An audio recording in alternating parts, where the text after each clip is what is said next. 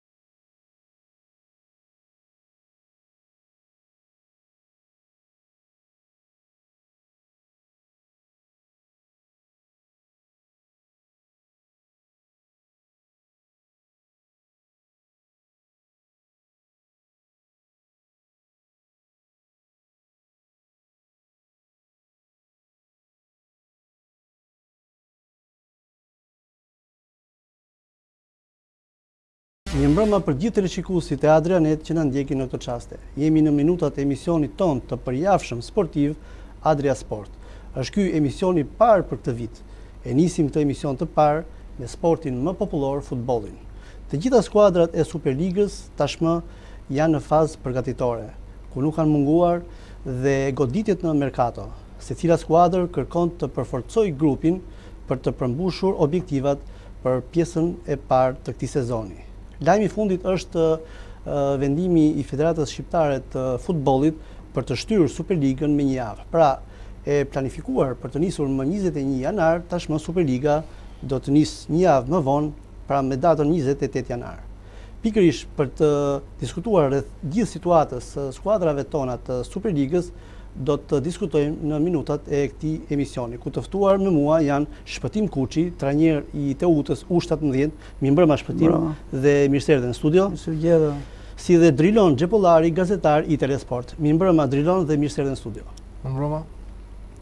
Shpëtim, po e nisim me lajmin e fundit, shtyrjen e kampionatit. Si duket vendimi i federatës për shtyrjen me një javë të Superligës? Sipas meje për vetë faktin që unë edhe trajnoj në Durrës, nuk e shoh të arsyeshëm spostimin e kampionatit për ekipin e Teutës, sepse ekipi i Teutës ishte programuar ndryshe për ta filluar me datën 21 kampionatin dhe stërvitjen në mbylljen e vitit e bëri me vonesë se sa ekipet e tjera dhe e rifilloi me datën 4 janar më shpejt se ekipet e tjera. Dhe kjo ndikon sepse programimi Teuta nuk ka marrë shumë lojtar, si të thuash, në janar dhe nga vetë fakti që nuk ka marrë lojtar, nuk i intereson shtyrja e kampionatit. Megjithatë, ai është vendim i federatës dhe Ne e diskutojmë këtë. Nuk është favorizuese për Teutën. Ekipet që janë jashtë shtetit janë është favorizues sepse ato shtyjnë edhe një javë tjetër programimin duke parë që kanë ikë më, më, me vonë në, Turqi në Turqi janë disa skuadra që po zhvillojnë fazën në Turqi. Që themi ne këtë mini fazën dimërore, atyre ju intereson të zgjasin dhe një javë. Megjithëse doja të shtoja, po, mos ndryshe, nuk është, është vetëm vendim i federatës, pasi është rënë dakord dhe me të gjitha klubet që kampionati të shtyhet, pasi në fillim ishin Ishin 8 skuadra. 8 pra, skuadra pro dhe 2 kundër. Pra Laçi dhe Teuta ishin kundër. Me sa duket drejtuesit kanë gjetur akordin dhe është vendosur që të shtyhet me një javë fillimi i fazës së tretë. Megjithatë unë mendoj që ky është një plus i madh për ekipet që janë në fazë përgatitore në Turqi. Ndërkohë për Teutën edhe për Laçin, mënyra se si e kanë zhvilluar këtë fazë përgatitore do ishte plus që ta zhvillonin Javën e parë të fazës së tretë në datën 21 janar që fillon edhe kampionati. Gjithashtu duhet të shtoja që Teuta në këtë moment duke përfituar përfituar edhe nga shansi që në një moment është një moment jo Tirana pasi disa lojtarë nuk janë bashkuar me ekipin, në merkato janë larguar shumë lojtarë, nuk është afruar asnjë dhe kjo është një plus për Teutën që në dy miqësore, në tre miqësore të zhvilluara ka treguar një nivel, pavarësisht se në miqësoren e fundit ka pësuar një humbje nga Beslidhja. Për mendimin tim për Laçin, për sa përket Laçit, Laçit i intereson shtyrja e kampionatit sepse Laçi ka afruar lojtarë cilësorë pranë vetes dhe do të thotë që me këto lojtarë duhet të ribëjë grupin, sepse ka afruar katër lojtarë cilësorë dhe me marrjen e katër lojtarëve cilësorë Laçi nuk e ka të kollajtë ta ribëjë grupin. Prandaj i intereson shtyrja e kampionatit. Dhe Teuta nuk ka bërë afrime, ka bërë vetëm një portier. Flitet që Enrico Papa është futbollisti. Po është një lojtar që nuk është për mendimin tim që vjen me një peshë të madhe te Teuta. Un po prisja, po të vinin lojtarë të tjerë, atëherë edhe Teutës do interesonte. Megjithatë ne presim ditën e fillimit të kampionatit që t'i vlerësojmë. Un mendoj që Teuta ka nevojë për dy tre forcime të tjera. Këtë e ka theksuar edhe Magani, don sepse me këtë fillimin e kampionatit aktualisht na intereson sepse Tirana stërvitet me 15 lojtarë në Turqi. Dhe 3-4 lojtarë cilësorë si Muça, po apo një tjetër, është bashkuar së fundmi skuadrës, me Vejl, pra janë disa lojtarë. To janë lojtarë që janë nuk janë pa mini fazë dhe kjo i interesoi dhe Teutës, ndeshja e parë të bëhej me në datën e caktuar që ishte në kampionat. Normalisht ky ndryshim pra i spostimit të rifillimit të kampionatit prish disi dhe ekuilibrat e procesit stërvitor. E përmendi Shpëtimi Drilon, por për rastin e Teutës. Por normalisht ky prishje, pra kjo prishje ekuilibrash ndodh te gjitha skuadrat. Kjo është e drejtë sepse çdo skuadër e ka përgatitur ekipin duke rritur duke rritur forcën mënyra e përgatitjes Po përgjithësisht pjesa më e madhe e ekipeve janë stërvitur me dy seanca në ditë, kanë zhvilluar dhe ndeshje miqësore. Teuta ka pasur një opsion për të shkuar në në Malin e Zi për fazën përgatitore, por Magani e ka parë që kushtet nuk është se ishin të favorshme dhe ka vendosur për ta zhvilluar në Durrës. Në përgjithësi, në sa prishin këto ekuilibra, sa prishin. Për mendimin tim, ndeshjet miqësore nuk i favorizojnë ekipet për të marrë ngarkesat e duhura, sipas meje. në Turqi nuk të favorizojnë, sepse ndeshjet janë të një niveli të lartë. Nuk është njësoj që Teuta bën ngarkesa fizike në Durrës, dy herë në ditë, dhe loz të nesërmen me Besëlidhjen. Nuk është njësoj kur loz Partizani me Fenerbahçen. Pra nuk është, nuk është i njëjti programim stërvitor. Unë do të thoja që Magani kish ndërtu ndryshe këtë fazë, këtë mini fazë, e kish, nuk, i, nuk i kishte programu, siç i ka programu Partizani, Skënderbeu, apo Kukësi, i kanë ndeshje shumë cilësore, miqësore, dhe janë, janë pothuajse me, me ritëm më të lartë se të kampionatit. Sigurisht janë me ritëm më të lartë, por është edhe një gjë që Partizani, Skënderbeu janë ekipe që kërkojnë titullin. Kurse Teuta ka ambicje më të vogla. Ajo pastaj ndryshon ke niveli, ke niveli sportistave, çdo tjetër. Kjo është parësore, e dyta pastaj ato janë miqësore luksi, janë miqësore për të po, shitur lojtarë. Partizani ka 5 po lojtarë. Kur flasim për ngarkesat, ato nuk marrin ngarkesat e duhura. Edhe për po pra flet në aspektin e marrjes së ngarkesës. Teutës i interesonte të fillonte kampionati. Por pra këtë ja ramë dakord, ramë dakord që është edhe Teuta jo, donte të fillonte kampionati, por ka gjetur konsensus. Që Tirana për shembull bën ndeshje miqësore në Turqi, nuk mund të bëjë ndeshje miqësore siç bën Teuta me në Shqipëri, sepse thashë dhe herë, niveli i ndeshjeve miqësore jashtë shtetit është ndryshe, ato më shumë lodhen.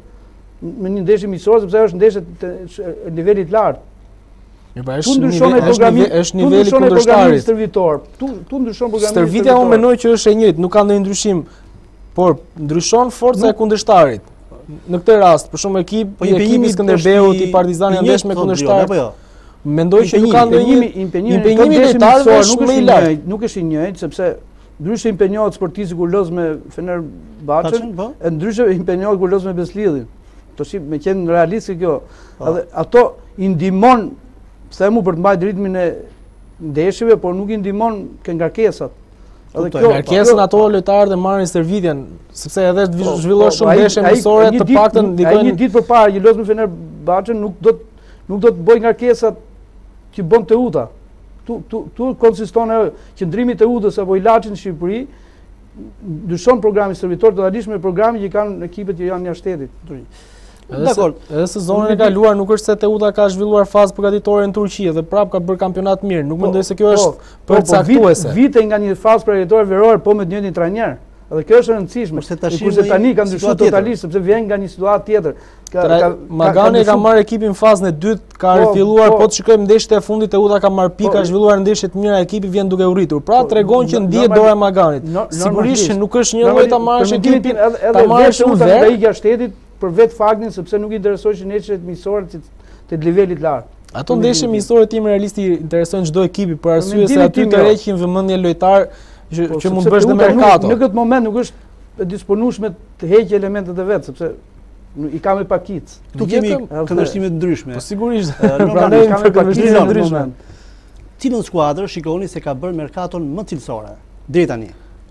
Deri tani, merkaton më cilësore, duke u bazuar te afrimet, mendoj që ka bërë Partizani, duke pas parasysh që ka afruar një lojtar me vlera si Cetkoviç në mesfushë një fantazist, një lojtar që Partizani ka nevojë, e ka kërkuar dhe para disa sezonesh në kohën kur e drejtonte Shpëtim Duro Partizanin, Është lojtar me vlera, e njeh mjaft mirë kampionatin. Është një lojtar që do i duhet shumë Partizanit për pjesën e mbetur të kampionatit. Ndërkohë ka marrë lojtar me me ritëm lojtar të fortë që ka zhvilluar ndeshje të mira në Kosovë, Boniface. Gjithashtu është edhe një afrim që e njeh mjaft mirë Superligën, është një goleador Xhevahir Sukaj. Nuk ka një kondicion të mirë fizik dhe mendohet që do zgjasë edhe disa kohë për t'u futur në fushë. Ndërkohë sa i përket largimeve, mendoj që Skënderbeu mbetet mbret pasi ka larguar Agim Zekën, një talent, për treqind mijë euro në drejtim të Lille në kampionatin francez, një lojtar me vlera, pjesë e kombëtares u nëntëmbëdhjetë. Kjo është sa i përket merkatos. Merkatos. Po për forcimin e skuadrës Agim Zeka një lojtar që është aktivizuar shumë pak në në në dy në dy pa, në dy fazat e para të po. kampionatit. Edhe është një lojtar që ka po mund të shërbente fazën e dytë normalisht. Po priten afrime cilësore, ndërkohë ka larguar edhe James. Ka afruar Plakun, një lojtar që mendojnë si alternativë të Salihit, ndërkohë edhe James flitet është diku një shifër 350-300 mijë euro diçka e tillë akoma nuk është zyrtarizuar për në Korenë e Jugut. Pra janë dy largime dhe janë shifra të konsiderueshme për që ka futbollin shqiptar, klubi, që ka përfituar klubi. Normalisht. Dhe këto shërbejnë për të pasur një ekip cilësor, për të pasur buxheta, buxhet të fuqishëm që të ndërtosh një ekip cilësor. Vetë presidenti Takaj deklaroi që e rëndësishme është që një ekip që të ketë vijimësi shpërthyese duhet të ketë financa të shëndosha dhe për të pasur financa të shëndosha përveç pjesëmarrjes në Kupat e Europës duhet të nxjerrësh talente, t'i zbulosh, t'i shesish dhe të bësh marketing. Sigurisht. Skënderbeu është shembull për të ndjekur dhe këtë e ka treguar në vitet e fundit, duke bërë pjesë e Kupave të Europës, duke shitur lojtarë të rëndësishëm, edhe duke afruar lojtarë të rëndësishëm. Kjo është shumë e rëndësishme, pasi edhe Berisha, Olayinka, Zeka, James, janë lojtarë shitje të bujshme që kanë sjellë jo pak të ardhura në arkën e Skënderbeut. Për ty Shpëtim cila skuadër ka qenë më aktive dhe ka afruar lojtarët më cilësorë? Për mendimin tim jam dakord me djalin, është Partizani, ekipi që për mendimin ka bërë dy goditje shumë. Unë them të katër afrimet që ka bërë Partizani Janë cilësore. Çetkoviç për mendimin tim është një nga mesfushorët më të talentuar që ka hyrë ardhur në Shqipëri sepse është një gjë lojtar që me pasimin është në 10 dhe është një lojtar që vertikalizon vertikalizon në mënyrë perfekte. Dhe në Shqipëri i mungojnë lojtarë cilësorë si Çetkoviç. Bonifat nuk e njoh mirë që të them se çfarë është Sukaj po dihet që është një dihen vlerat e këtij futbollisti, por për mendimin tim edhe Kristi Marku Po është një mbrojtës mjaft i talentuar. Një alternativë për mendimin tim që duhet patur në konsideratë te Partizani, sepse është një mbrojtës i talentuar që vjen nga gjithë grupmoshat e kombëtares dhe ka një eksperiencë jashtë shtetit në Hungari, te, te Flamurtari është aktivizuar pak, por për mendimin tim kanë gabuar të largojnë Kristi Markun, sepse është alternativë për mbrojtjen dhe Për mendimin tim të katër afrimet që ka bërë Partizani janë shumë cilësore. Ne do të ndalemi po Shpëtim do të thotë diçka. Ekipet e tjera pastaj kuptohet për mendimin tim afrimi më i mirë që ka bërë Korça është vetë trajneri Ilir Daja, që është një ndër trajnerët më të mirë në Shqipëri bashkë me mendimin tim Gugash Magani janë dy trajnerat që më cilësorë që ka kampionati shqiptar, janë shumë punëtorë, janë trajnerë që njohin mirë terrenin dhe janë trajnera që administrojnë lojtarë të rinj dhe i marrin maksimumin e grupit. I marrin maksimumin e grupit dhe janë janë të dy. Për mendimin tim, vajtja e Ilir Dajës te Skënderbeu është blerja më e mirë e kort e korçarëve gjatë këtij sezoni. Kurse ekipet e tjera nuk është se kanë bërë edhe vet Laçi e prekëm edhe përpara. Për ka afruar Vucajn dhe Nikën që janë lojtarë cilësorë. Ne do të ndalemi pak te Laçi të shohim si, si rival të Teutës. Do të bëjmë edhe krahasimin midis merkatos që ka bërë Teuta deri tani dhe asaj që kanë bërë rivalët e Teutës.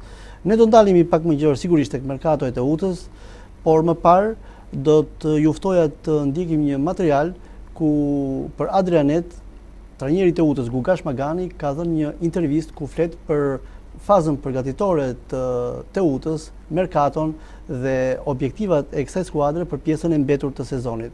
Ju ftoj të ndiqni materialin për t'u rikthyer sërish në studio. Nën drejtimin e trajnerit Gugash Magani, Teuta vijon normalisht fazën përgatitore në Durrës në prag të rifillimit të kampionatit. Krahas procesit të zakonshëm stërvitor, nuk kanë munguar dhe ndeshjet miqësore, ku stafi teknik ka testuar gjendjen e grupit, për më tepër të lojtarëve të afruar së fundmi tek Teuta.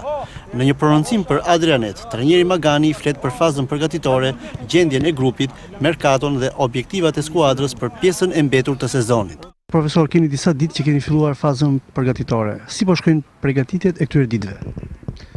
Duke pas parasysh vështirësitë që janë për shkak të kushteve atmosferike, mendoj që skuadra është stërvit mirë dhe ajo që është më kryesore është që në këto ditë të ftohta gjendja e skuadrës fizike është optimale dhe ajo që ka më shumë rëndësi është që nuk kemi dëmtime. Kjo është një pikë kyçe në një në një në një moment kur skuadra stërvitet dy herë në ditë. Ku jeni përqendruar në seancat stërvitore të këtyre ditëve? Po, po pa diskutim, pjesa e parë është pjesa kondicionale. Jo se kemi vujt, por është pjesë kryesore e futbollit, pra, përgatitje fizike. Në të njëjtën kohë është stabilizimi i disa disa gjërave nëpër reparte dhe si skuadër, Për, sepse normalisht kemi analizu për ato gabime dhe ato të meta që kemi pasë në dy fazët e para. Pas disa lëvizjeve te Teuta, ndoshta në ditët e ardhshme mund të ketë lëvizje të tjera, sigurisht që priten, por për ata lojtarë që kanë ardhur, a keni krijuar ndonjë mendim për aq sa ju i keni parë? Mund t'ju them vetëm kaq që lojtar që është tamam Për momentin që ka ardhur është Kastrati, pra është portieri Kastrati, një njohje e vjetër e Teutës, sepse ka dalë nga akademia e Teutës, vjen nga nga Italia, për mua është portier që është e ardhmja e, e futbollit dursak dhe shqiptar. Në të njëjtën kohë kemi bërë dy dy goditje të tjera, po normalisht akoma nuk kemi firmosur sepse duam edhe kohën e mjaftueshme për të qenë bindur. Por, deri tani mendoj që janë me pritshmëri të mirë, gjithsesi unë kam kërkuar te presidenti dhe te klubi që të lojtarë që të vinë pak të një apo dy të bëjnë diferencën, sepse normalisht lojtarë kemi boll, rëndësishme që të bëjnë diferencën, sepse po të kishin bind këto lojtarë që janë, pa, pa i heqë meritat, sepse futboli është lojë kolektive, do ishim në pozicione të tjera në tabelë. Profesor, keni pasur në program për ta zhvilluar fazën përgatitore në Ulqin. Realisht, pse ndryshoi ky program? Në radhë të parë kushtet nuk ishin fare të mira, sepse unë kam udhëtuar vetë në Ulqin, fushat nuk ishin të përshtatshme dhe më kryesorja është që në Ulqin nuk kishim skuadra për të zhvilluar ndeshje stërvitore që janë pika kyçe që skuadrat vijnë në në formën e saj të mirë, sepse ndeshjet stërvitore bëjnë atë që ndeshja pra ndeshja është ajo pika kyçe çdo skuadre sepse çdo gjë edhe, edhe pjesa kondicionale, pjesa tekniko-taktike gjatë gjithë kohës shtrihen ndeshje për të parë të mirat dhe të këqijat apo të, të metat dhe dobësitë që ka Teuta, a është në bisedime me ndonjë lojtar me emër të kampionatit shqiptar apo pse jo një lojtar me peshë edhe në në kampionatet e huaja? Jo, normalisht për emër në kampionatin shqiptar nuk kemi asnjë, që të jemi të sinqertë, ndërsa për lojtarë të huaj unë, unë edhe jam i sigurt që këto 2-3 ditë do na vijë një qendër mbrojtës me eksperiencë. Po punojmë edhe për një mbrojtës të djathtë, gjithashtu edhe për një sulmues. Mendoj që dy të parët, mendoj që janë duke ardhur, sepse bisedimet janë kryer dhe janë në fazën përfundimtare të nënshkrimit të kontratës, ndërsa për sulmuesin jemi akoma, jo se nuk e kemi zgjedhur, por normalisht lojtarët që vijnë, normalisht që vijnë në janar, vijnë të pa përgatitur, kështu që du të jemi shumë të kujdesshëm te kjo goditje. Në fund, për të qenë realist, cilat janë objektivat e Teutës për pjesën e mbetur të sezonit? Në qoftë se ne do përforcohemi me 2-3 blerje, ne do synojmë kupën e Shqipërisë, të shkojmë sa më larg pra në kupë, ndërsa për sa i përket kampionatit nuk kemi asnjë objektiv tjetër, i vetmi objektiv është që të shpëtojmë, sepse jemi në kushte shumë të vështira. Një prej lojtarëve të afruar tek Teuta në formë huazimi është dhe portieri Elhan Kastrati, i rritur në Akademinë e Futbollit Teuta, i aktivizuar më pas me të rinjtë e Peskarës dhe i huazuar për një sezon në ekipin e parë të Piacensës. Në Itali shumë mirë, tre vitet e para kisha eksperiencë shumë të mirë te Peskara, ngaqë edhe kushtet ishin shumë të mira. Edhe vitin e fundit kalova me ekipin e parë të Piacensës, që nuk shkoi ashtu siç duhet. Luajta vetëm një ndeshje nga gjithë faza e parë që kaloi. Edhe shpresoj tashi që jam kthyer këtu te Teuta, të gjej pak hapësirë dhe të marr pak minuta në këmbët e mia edhe të vazhdoj karrierën përpara. Jeni kthyer në formë huazimi tek Teuta? Po, po, jam vetëm 5 muaj, 6 muaj deri sa të mbarojë kampionati dhe pastaj do kthehem prapë te Peskara, ngaqë kartonin e kanë ato. Cila është klima që keni gjetur te skuadra e Teutës? Këtu jam n'shpinë time dhe ndihem shumë mirë, ngaqë Jam rritë te Teuta, shpinë e kam Durrës edhe ndihem shumë shumë mirë. Superliga rifillon më njëzet e një janar, ku Teuta e nis me një sfidë të vështirë në shtëpi kundër Tiranës, ndaj së cilës Teuta këtë sezon regjistron një barazim dhe një humbje. Ishte ky pra materiali i pregatitur, atëherë Driron, si e shikon situatën tek Teuta? Ndeshjet miqësore kanë treguar një formë të mirë të skuadrës, megjithatë është nevojë e domosdoshme afrimi i tre lojtarëve. Mendoj dy mbrojtës, është edhe dëshira e Maganit, ka kërkuar një mbrojtës qendre dhe një mbrojtës krahu të djathtë. Pjesën e parë të sezonit Teuta ka vuajtur shumë krahun e djathtë, ka aktivizuar Hodon si mbrojtës të djathtë duke e tërhequr nga mesfusha. Hodo, Hodo pjesën mbrapa e ka bërë shumë mirë, por në repartin e sulmit nuk është se ka dalë shumë dhe aty i ka munguar skuadrës. Megjithatë, ka qenë Gripshi ai që ka marrë më tepër iniciativa dhe ka qenë lojtar i rëndësishëm. Ndërkohë në qendje në qendër ka ka provuar disa alternativa, por sërish kërkon një mbrojtës me eksperiencë, një lojtar që të japë siguri. Të udhëheqë mbrojtjen. Të udhëheqë mbrojtjen. Kërkon një lojtar të fuqishëm. Ndërkohë edhe në repartin e sulmit kërkohet një lojtar që mund të luajë si në qendër edhe në në krah. Krahu i majtë Ka pasur disa afrime, Papa, por megjithatë kërkohet një një lojtar që të dublojë Mustën. Musta në këtë sezon nuk është se është ai Musta i një sezoni më parë që shkëlqente me driblimet e tij, me zbritjet, inkursionet në krahun e majtë. Teuta ka nevojë, ka nevojë me për dy tre afrime. Magani, patjetër duhen dy tre përforcime, pra dhe kryesisht u ndal tek fakti që duhen lojtar që të bëjnë diferencën me lojtarët që janë aktualisht. Sigurisht, kjo është, është për këtë po flasim, se duhen lojtarë që të bëjnë diferencën. Pozicioni i Teutës ia dikton këtë, një pozicion i vështirë në fund të tabelës. Në rast se do ishin lojtarë që e ti Teuta e ka atëherë kjo nuk ishte e nevojshme. Krahun e djathtë për shembull kërkohet lojtar që të bëjnë diferencën. Patjetër që duhen, duhen marrë parasysh kartonë, dëmtime. Pikërisht, pra, pikërisht, pra, pikërisht. Duhen lojtarë që bëjnë diferencën. Edhe në dy fazët e para, Teuta Për shkak e ndryshime të shumta të stafit teknik kanë ndikuar te skuadra, filozofia e ndryshme e trajnerëve kanë ndikuar që të negativisht te ndryshimi i skuadrës, faza përgatitore, afrimet në fund.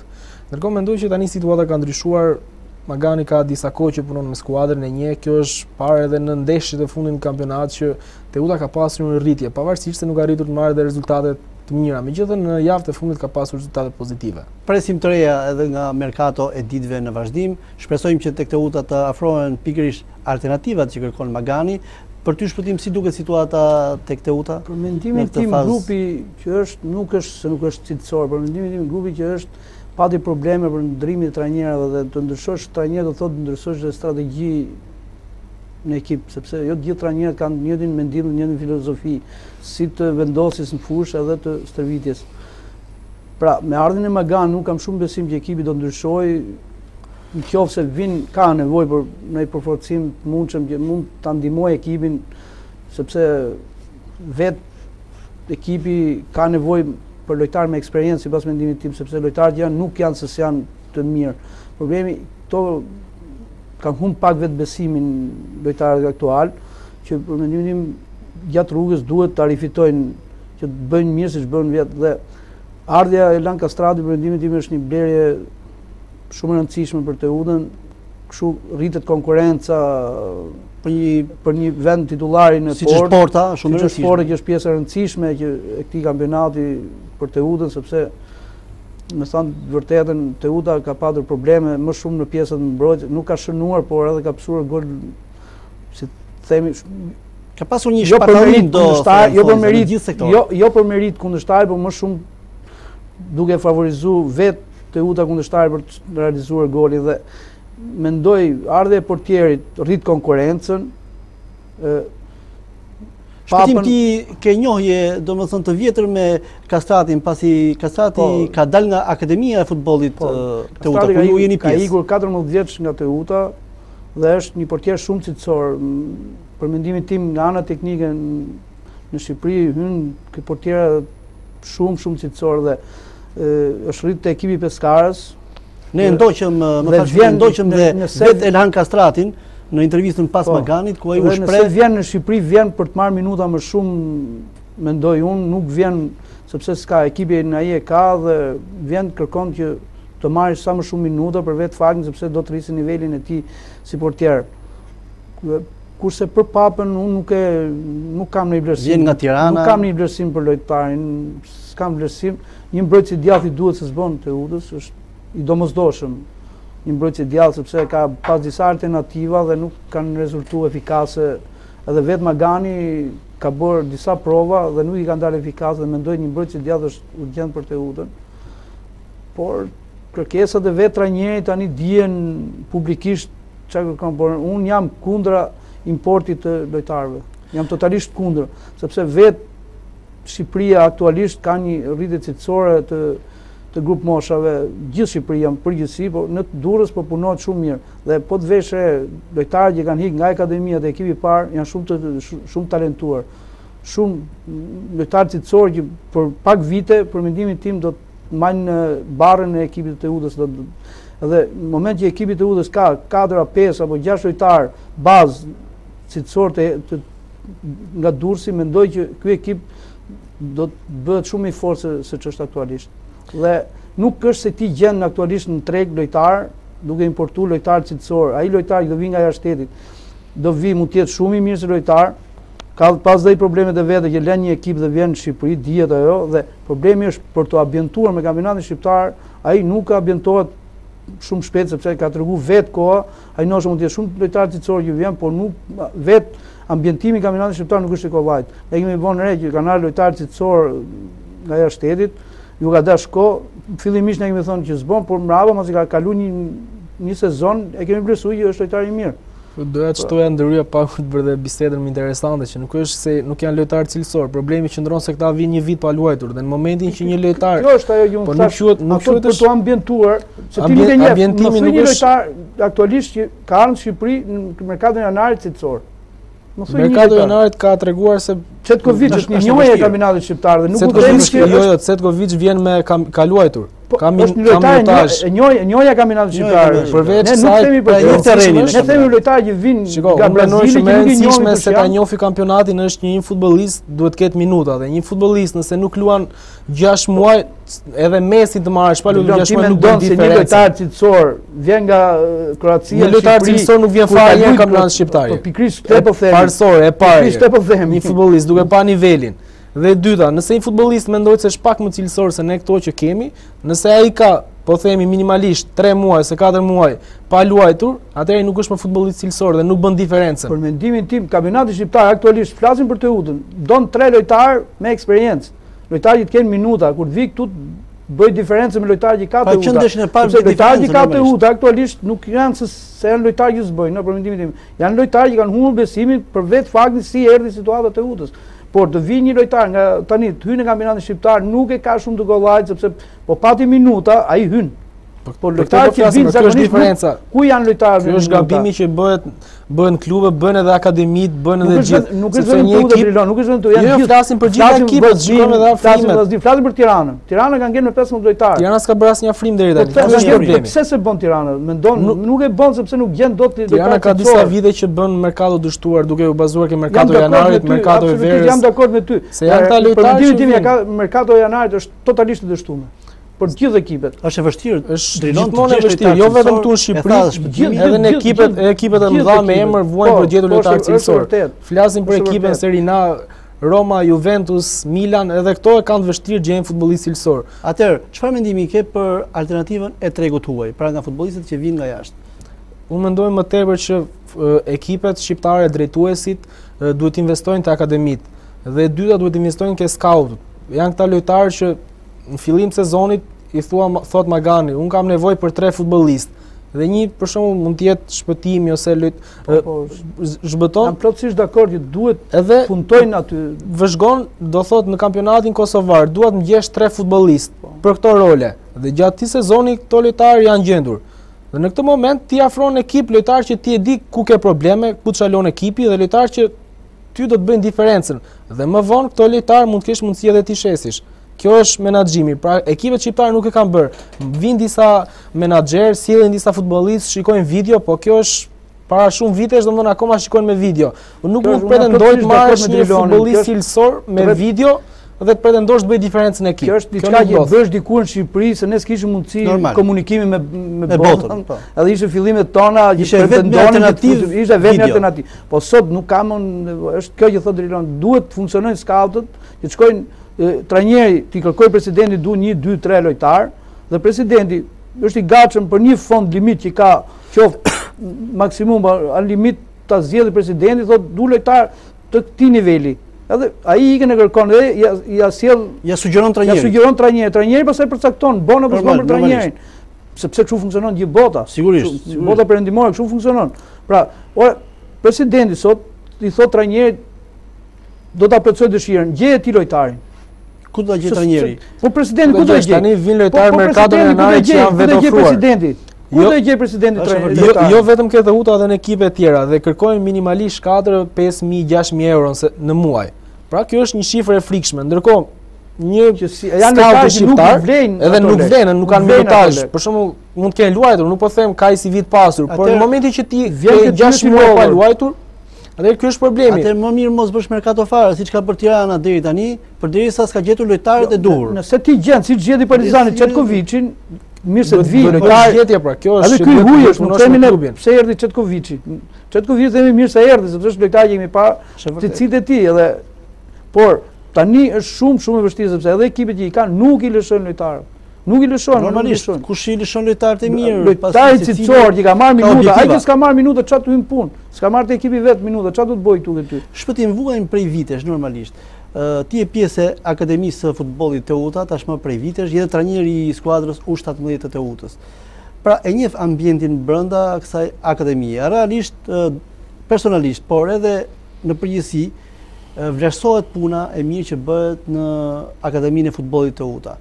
Por, gjithë këto vite që funksionon kjo Akademi Futbolli, nuk kemi ne elementë cilësorë për t'i afruar dhe të jemi pak më të të jemi pak më kërkues në tregun e huaj kur kemi pa ma lojtarë që të bëjnë diferencë. Unë e preka dhe pak më përpara, të thashë tregu shqiptar ofron lojtarë cilësorë aktualisht, por mosha e vetë lojtarëve sepse ne vijmë me shumë probleme gjatë gjithë kohës Kemi pasur nëntëdhjetën, pastaj erdhi nëntëdhjetë e shtata edhe për ta rimarrë veten nuk është nuk ka qenë aq kollaj që të futesh dhe ti në merkato si të gjithë tjerët. Tani mund të kemi akademinë tonë. Mendimin tim, unë flas për akademinë e Teutës. Akademia se po ndërpres lojtarë cilësorë si Gripshi që po luan, po shkëlqen ke Teuta. Aktualisht ke ekipi i parë, aktualisht ke ekipi i parë, ke pesë lojtarë cilësorë për mendimin tim. Që janë, nuk janë që do shpëtojnë Teutën sot, aktualisht, sepse janë lojtarë të ri dhe nuk marrin dot peshën në këtë moment që Teutës i duhen rezultatet. Por, nëse Teuta kishte rezultat, do flisim ndryshe, sepse është Lajthia, një lojtar i mrekullueshëm, është Vila një lojtar i mrekullueshëm, është Mara një lojtar i mrekullueshëm, është. Ka lojtarë akoma të rinj që s'kan pasur ja, mundësinë e duhur për të luajtur. Por po thënë lojtar Gripshi, është një lojtar ka marrë peshën e Teutës sivjet. Edhe është lojtar cilësor. Po. Ky lojtar me një menaxhim më të mirë Nëse Teuta ecën mirë me pjesëmarrjen në Kupat e Evropës, ky shitet dhe mund të përfitosh 300-400 mijë euro ose më shumë, më tepër. Po, duke parë po, vlerën e këtij lojtari. Them, pra duhet të keni bërë mirë. Keni mbrojtës majtë Likën aktualisht.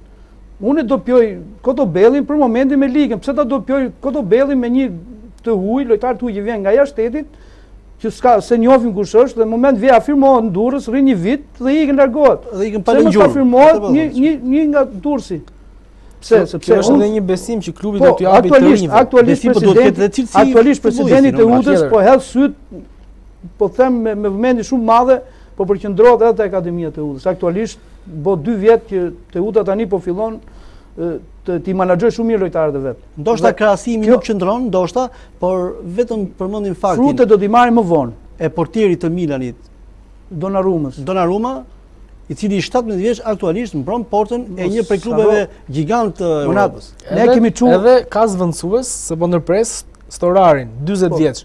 Po çon si ka kjo? Jo, jo, kjo ka rëndësi, shiko çfarë profesionalizmi pra. Ai është 17 vjeç dhe ka një zëvendësues. Kastrati ka dalë nga akademia jo, e Teuta. Jo, besimi që jepet. Kastra, Kastrati ka dalë nga akademia e Teuta dhe kur themi që është një portier cilësor nuk e them vetëm unë, nuk e them vetëm unë, por ka qenë vetë pjesë e ekipeve kombëtare, se ka qenë kapiten i U17-s, ka qenë lojtar porte i U19-s dhe aktualisht nuk e di tani është pjesë e U21-shave, sepse është mosha që ja, ja, ja. problemi është, i joni është sepse pse tani Kastrati bën? Dhe Kastrati, si puna e Kastratit ka dhe të tjerë, duhet vi aktualisht, duhet t'i jepet dora gradualisht.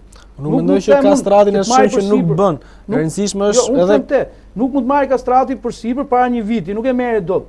Sepse nuk i kishte tani që Kastrati është i afirmuar, ti thua është portier cilësor dhe për mendimin tim kështu duhet vepruar me të gjithë lojtarët cilësorë që janë te akademia e Teutës. Se trajneri ka frikë me marrë përsipër, të aktivizojë lojtarin e ri. Pse? Sepse do të ketë rezultate dhe është vetëm edhe peshën e përgjegjësisë, edhe peshën e përgjegjësisë. Se ai ka peshën e përgjegjësisë kryesore trajneri, edhe nuk e vej fare në dyshim atë. Unë them, Po meqë ti vjet kishe rezultatin, mund të aktivizosh dhe një lojtar të ri, që sivjet ti e shikon Gripshi u aktivizu gradualisht vjet. Se Gripshi nuk mori peshë vjet, apo jo. Sivjet Gripshi ka peshën e ekipit, mendimit tim bashkë me të tjerët, por është një lojtar që ka treguar që vlen. Gripshi është një lojtar që bën diferencën. Është një lojtar që vlen mendimit tim. Me Gripshin, me Gripshin, Kukësin e Skënderbeun me me inkursionet e tij në krah, është po, lojtar shumë po, cilësor. Shqipja gjithashtu ka vuajtur nga dëmtimet, por është lojtar i mirë. Mos harro se Gripshi, Gripshi aktualisht Është prap i ri, ë. Por pra ky është lojtari që unë thash pak më parë. Të teta dhe t'i japësh besimin 1.98 për mendimin tim është shumë mirë dhe bravo që ka merituar trajneri Magani si e menaxhoi Gripshin. Si e pruri deri këtu, se e solli Magani sivjet Gripshin këtu.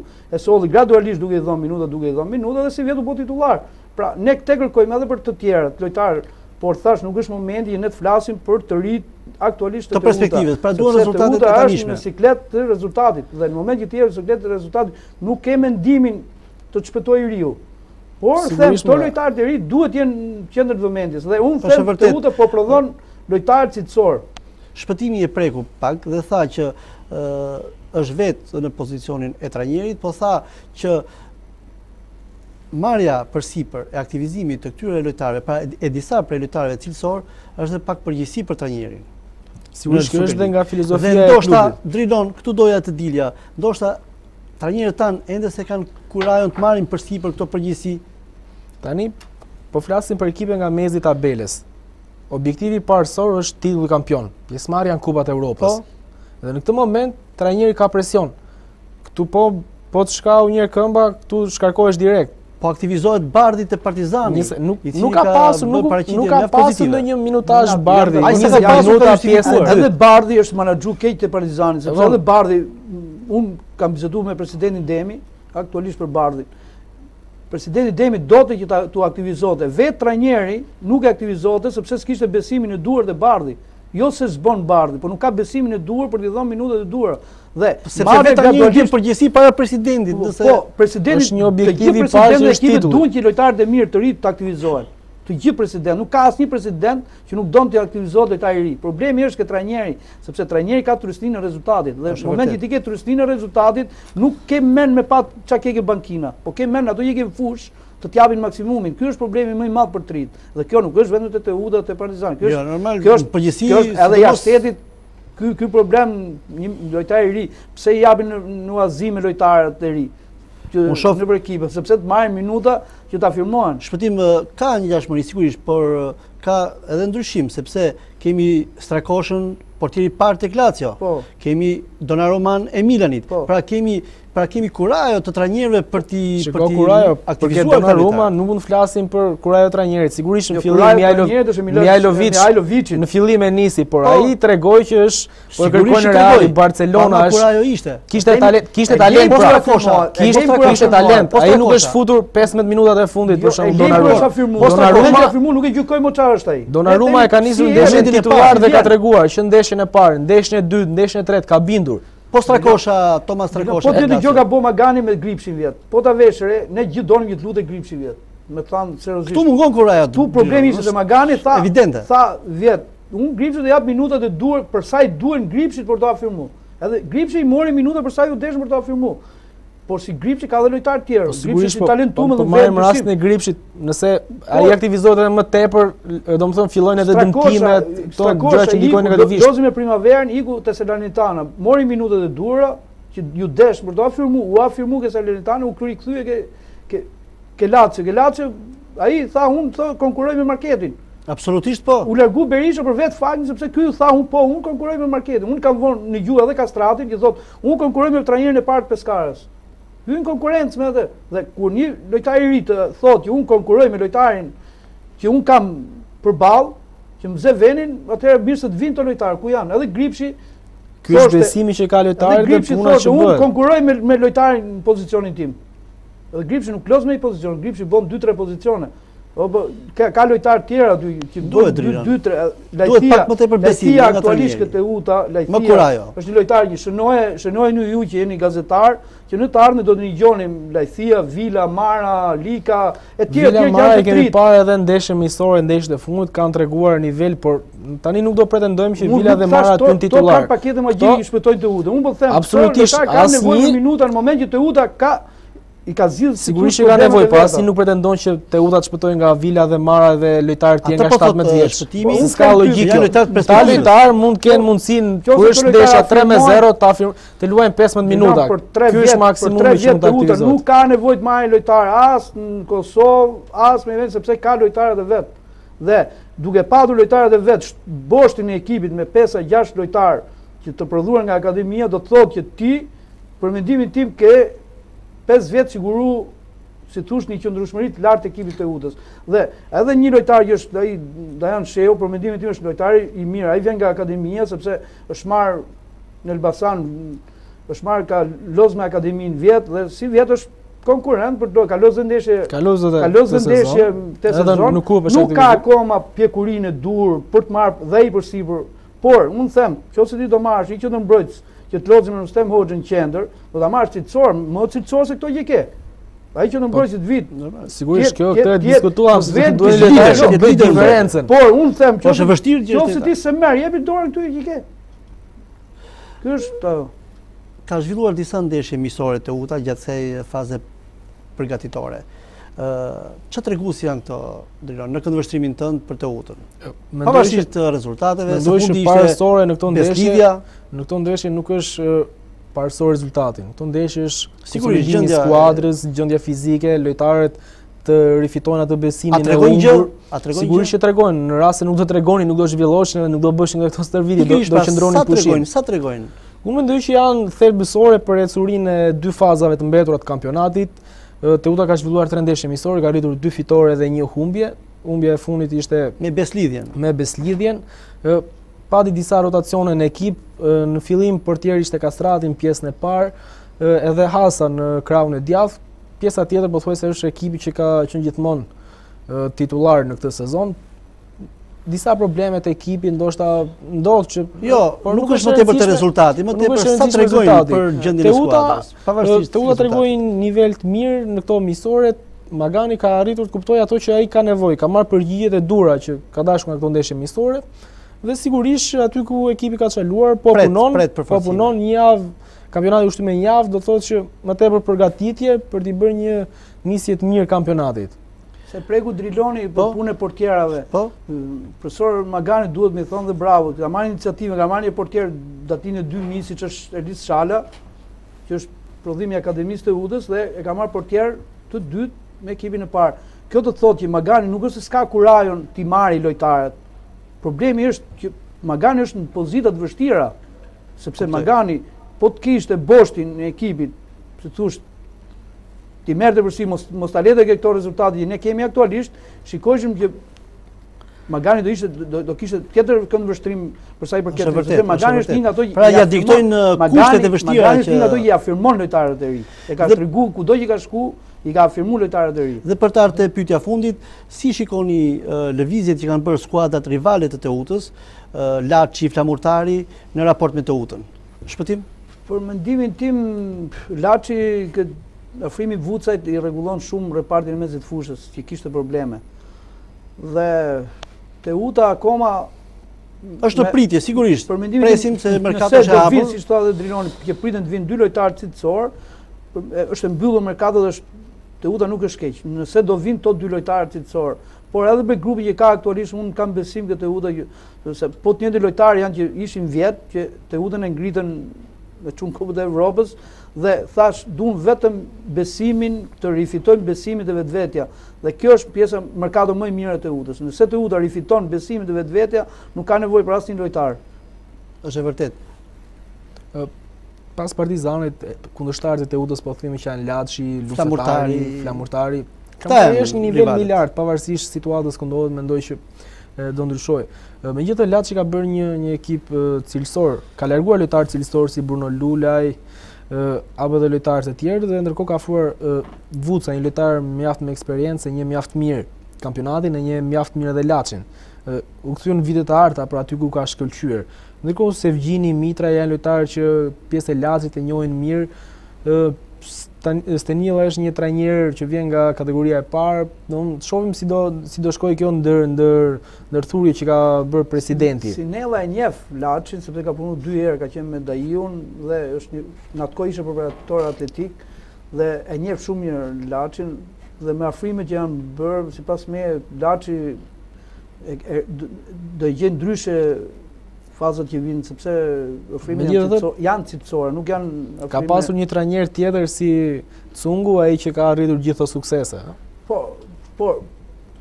Unë them edhe Vllaznia nuk është në situata të mira për mendimin tim.